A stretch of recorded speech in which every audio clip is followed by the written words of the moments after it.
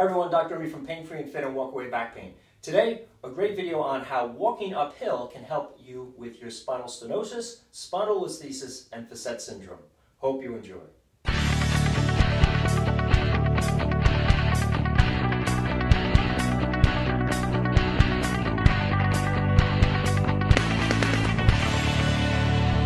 So one of the things I've learned in over 30 years of clinical practice dealing with patients with spinal stenosis, spondylolisthesis, and facet syndrome is that many patients are not necessarily motivated to exercise and to be in a fitness on a regular basis. Those that are, it's great, it's simple to give rehab exercises, but a lot of us aren't necessarily motivated. That's why I developed the Walkaway Back Pain Program. It allows us to use walking, which we all do anyway, and modify or tweak the way we walk slightly to get the benefits of corrective exercises to improve mechanics that relieve the symptoms of spinal stenosis, spinal spondylolisthesis, and facet syndrome. We're going to take an excerpt from my book, Walkaway Back Pain, today, and we're going to talk about how uphill walking can be beneficial for stenosis, spinal spondylolisthesis, and facet syndrome.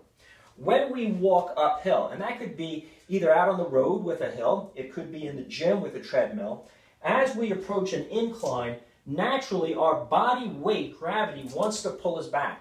The way the body resists that is it contracts the abdominal muscles by keeping the tailbone under or pubic bone up as the abs contract and the bottom of the rib cage down, it centers our center of gravity more in a forward and upward direction, which disallows us falling backwards. Now that's very advantageous for those of us with spinal stenosis, spondylolisthesis, and facet syndrome. If you've seen any of our other videos on the channel, you know we're talking about all those conditions needing flexion of the lumbar spine, meaning we need to contract and we need to train and condition our abdominal muscle activity to be able to flex and resist extension because backwards bending in the lower back aggravates all of those conditions. So by simply walking on a treadmill each day, going out and doing a little uphill walking, you're going to make sure that the abdominal muscles receive the necessary stimulus they need to stay better conditioned, to help you in your daily activities to avoid that extension.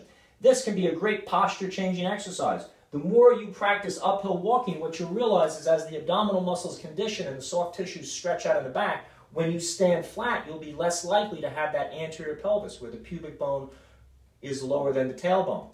That anterior pelvis, remember, aggravates back pain. So after walking for a while in a good program, you'll actually be stretching the soft tissues, the fascia, the discs, the joint capsules, muscles, ligaments, those soft tissues that hold you in that anterior pelvic tilt, and you'll be conditioning and correcting that posture so when you stand still, you have a more level pelvis, and during the day, normal standing, walking activities are going to be less likely to irritate spinal stenosis, spondylolisthesis, and facet syndrome.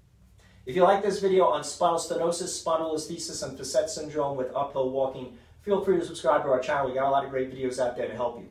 Thumbs up to help me share this valuable information with others. And remember, if you're looking for a great program to analyze what your mechanics are, how to include walking variations and modifications to help with your back pain symptoms, check out our Walkaway Back Pain program available at painfreeandfit.com. I hope this video on uphill walking helps you with your spinal stenosis, spondylolisthesis, and facet syndrome.